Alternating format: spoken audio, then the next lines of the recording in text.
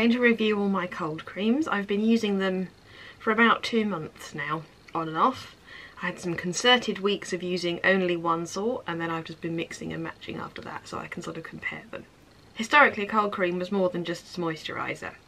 It acted as a primer and a binding for face powder in the Victorian and Edwardian era and also acted as a sort of cleanser and makeup remover later in the 20th century um, and it still is still can be used like that now. I have used mine historically with historical face powder and also with putting on my skin before on the very rare occasions that I wear makeup and it does work for that and it also works as a general moisturiser which is what I quite like because I have quite dry skin but it doesn't the, the, the, the different cold creams that I've made don't behave quite like a modern moisturiser. They're not quite absorbent. They leave quite an oily residue on your skin, which is what I quite like about them, but I'd completely understand if that was something other people don't like. So I'll try and give you a little review of each one that I've made and, and a tiny demonstration of how I use it. And again, I want to make it very clear, this is personal, this is what I do. It brings me some sort of, you know, strange pleasure to make my own my own cold cream and use it. It might not be the best thing for my skin, but it's not really doing it any harm either. But I'm not doing this because I think other people should do this. I'm doing this because I find the making of it quite fun and the using of it quite fun. And I've never really discovered a moisturiser that you could buy that has made me think, oh, this is the only thing I'll ever use for the rest of my life. So there haven't been any sort of real disadvantages. Some have come out better consistencies than other, and some of that's the ingredients, some of that's the preparation, and sort of the different oils have different properties on your skin, and some are better than others. Yeah, so I'm just going to talk through them now. So the cold creams that you saw me make in the previous video was this one here, uh, from a recipe from 1909, with almond oil, rose water, a little bit of jojoba oil and beeswax. And this one here, which was the same uh, initial properties, almond oil, rose water, beeswax, jojoba oil and also cocoa butter. Um, the two here, the two at the back here, you didn't see me make but they were made using much the same methods. This one is olive oil rather than almond oil and this one here was coconut oil rather than almond oil but they still both had the beeswax and distilled water or rose water um, properties as well. you can see they're all varying shades of cream. If I'd used a bleach beeswax they would be a paler consistency um, so that's a sort of variation depending on what ingredient you use. They're all a similar consistency so you can see the rose water the rose water and almond oil is quite granular Um, and when I put it on, I put it on my hand, you know, it leaves quite a oily, waxy residue. And it sort of sits on your face, absorbing into the skin a little bit, but not as much as maybe a modern modern moisturiser. You, you sort of feel oil on your skin if you touch your face after you've put it on, and that sort of fades over the day.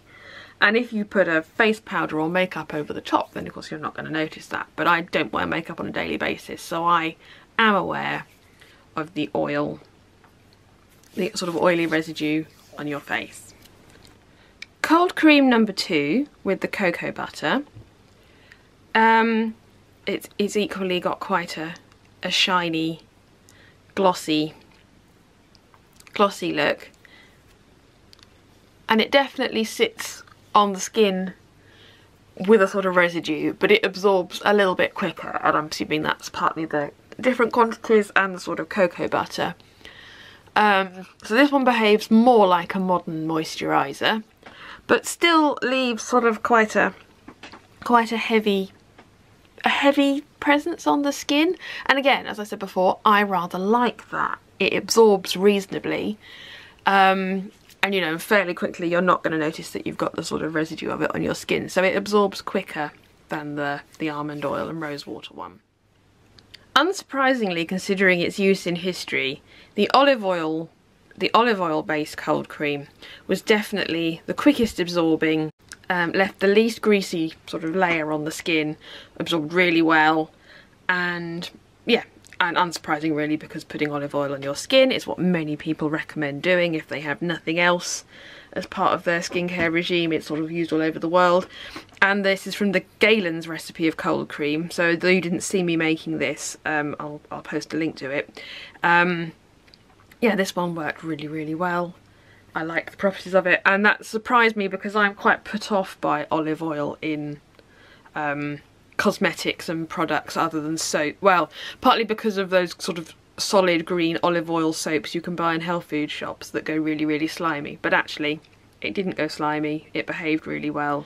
To my great disappointment, the coconut oil based cold cream, which I had high hopes for and admittedly made up my own recipe, um, this one is too much like just putting plain uh, coconut oil on your skin, which is something I quite like. I um, if I don't have any moisturiser, I do just put coconut oil on my skin, and I really like that. I know there are some people that you know know more about skin who would definitely recommend not doing that because it's not got the the best absorption rate and it can cause your skin to get sort of quite clogged and blocked um, and actually get, make you become sort of spotty. Um, but then again, there are other people that love using coconut oil for makeup remover. So maybe if you wanted to use your cold cream only for removing your makeup, then I'd recommend this one. But I tested this one really thoroughly, and I don't know whether it was just, you know, time of the month. Um, I had really spotty skin after using this for two weeks, so it's probably a combination of things. Partly the, the, the coconut oil based cold cream, partly diet, partly time of the month. But this was the one I noticed that had the uh, most negative effect on my skin compared to the other three and I was sort of disappointed in. None of them do the absolute comedy sort of, you know, cold cream on the face. I keep thinking of Lucille Ball for some reason, though I don't know why. It's sort of thing where the, the wife, especially in the sort of 40s and 50s, comes out of the bedroom covered in cold cream with a hairnet. Um, none of the creams are heavy enough to leave that sort of white deposit all over the skin. They all sort of do absorb. Um, so maybe the sort of a more maybe a more modern recipe is required to achieve that effect. You'll have to do some experimentation of your own, and maybe I will. When I made the cocoa butter and cold cream before, that one did leave quite a heavy white deposit on the skin, but that was also the one that went mouldy, so there was clearly something not right on that one. As for keeping these products, as you can see I've got them in a mixture of open jars and sealable jars. These will should all keep for a couple of months obviously there are no preservatives in them other than the beeswax and oil and if you don't let them get water and bacteria into them there is no reason why they shouldn't keep indefinitely. The coconut oil one um, melts a lot like coconut oil does so I had some incidents with that so you definitely want to keep that in a more sealed jar if you're using it. The rest of them only melt under extremely high temperatures and so have been quite well behaved over the very hot weather but unless they sort of any develop any mould, I'd be happy to carry on using these for the rest of the year and possibly longer. But again, I don't want to I don't want to make anybody do anything they don't want to do and if that idea of that horrifies you then obviously don't do it. Make a small quantity and dispose of it when you feel that it's old or you've had enough of it. Yeah, that's that's my recommendation really. Now to talk a little bit more about using the cold cream. Don't be fooled by the fact my pot says shaving cream. In here is actually my attempt making Victorian face powder. I found the recipe online and it's very similar to 18th century hair powder actually. So it's made of starch. I used um, cornstarch and arrowroot powder and rice powder and then the pink colouring comes from red ochre. And then I used a couple of drops of scent to give it a really heady smell that I imagine the Victorians would have been very keen on. As I think I've said before, I don't really like heavily scented stuff and this shade of pink really, really doesn't suit my complexion. There are pages and pages devoted to getting the right shades of, shades of face powder for Victorian Edwardian ladies, but with my not being overly keen on wearing makeup, this seems this seems an unnecessary thing for me to go to. I was just curious, so therefore you know, I had all the ingredients left over from making hair powder, why not make some face powder to go with the cold cream I've been making. Unless you apply a very heavy dose of cold cream to your face, this powder just sits on your skin and is very likely to cause breakouts and spots because it clogs your pores. So again, I wouldn't really recommend this. But it makes me laugh that I gave it a go and I obviously made quite a large amount of it and it's and it's sat here for some years now with its heady heady smell. It really really doesn't suit me. It would be great it'd be the ideal skin colour I would like to have because really I want to be a goth but I'm far too rosy and healthy for that. Um, you would then also probably follow this with some heavy duty blusher but again because I have quite a ruddy complexion I I don't really wear blusher because I feel my cheeks are doing doing the red on their own quite well at the best of times. In fact, I think I want to sort of dull, dull my cheeks down. And there you can see comedy, comedy Victorian face powder that doesn't suit me. Uh, looks awful against my teeth, obviously, because they're really yellow um, and it's not my complexion and I find that it tends to sort of crease up in your eyes and around your nose and around your mouth because it's not as fine as modern makeup. Um, so yeah, I don't think even with different pigments or uh, colouring I'm going to further experiment with Victorian face powder. I don't think it's very good for my skin and I don't like the effects of it but, but there you are. Cold cream can be used to glue glue the face powder to your skin and remove it afterwards as well. Far more successful than face powder was my experimenting with making my own lip tint.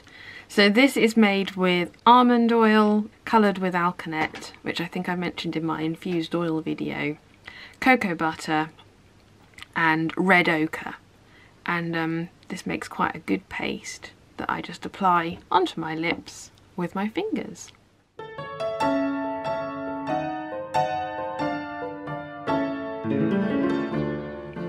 So I've still got the ghostly white powder on. But moisturising, lip staining, natural, and I'm much more successful than the face powder. I think there's some beeswax in there as well. I don't think I followed a recipe. I think I just mixed it up and got the consistency I want. I did make some poured into little plastic tubes like a lipstick, but again, because they're plastic and you can only use them so many times and wash them out, I now keep it in a little pot. And so, again, I only really wear it when I'm at home. That's not really a, a great travel one. Although I did take it to the ball in Bath earlier this year because like, well, I'm only going to wear my 19th century inspired makeup. So I took my little little pot of rouge, little pot of lip stain with me. If you wanted to use your cold cream in a sort of more 20th century way, you could use it for removing makeup. I know it doesn't look like it, but I've got mascara, face powder and lipstick on now. Well, you can see the lipstick.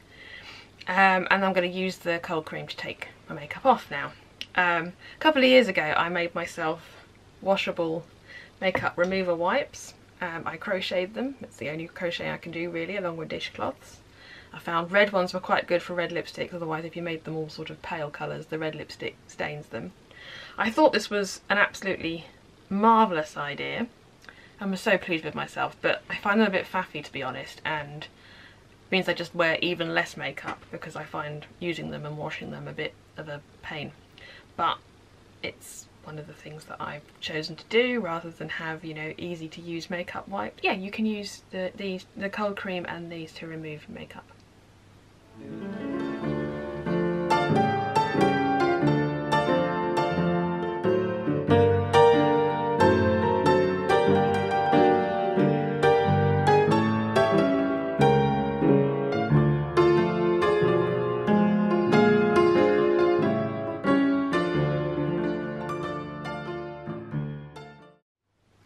And that is my makeup gone, and I'll go and wash my face, and then possibly put some more cold cream back on, depending on whether you want to then sort of, you know, moisturise after taking your makeup off. So there's the historical and modern uses for cold cream that I use and enjoy. Um, I hope this was helpful. Any questions below please doing. I'm sure it's not the best thing for my skin. I feel like it's really going to horrify Americans who take skincare much more seriously than us British, you know, we're still going outside and birding and going red. Um, but yeah, that's that's my review of cold creams. I hope it was helpful. Um, I'm not sure about informative, but fun maybe. Let me know what you think. Thank you, bye.